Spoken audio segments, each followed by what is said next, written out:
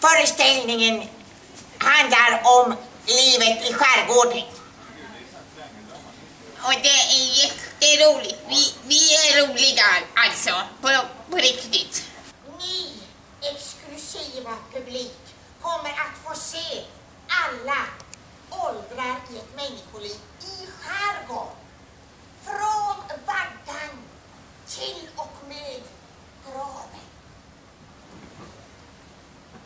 Den.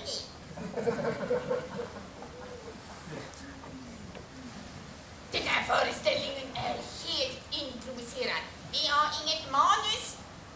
Vi hade tränat in en dans här, men den tog vi bort. Om det är någon som vill ha teater med manus, så att man vet hur det går, då får ni gå på någon annan föreställning.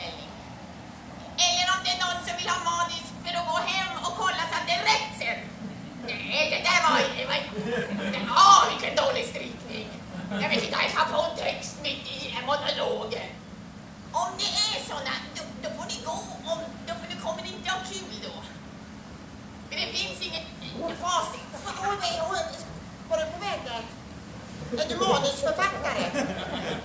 Det, det är också sorgligt ibland, men mest roligt. Alltså, vi, vi är jättebra.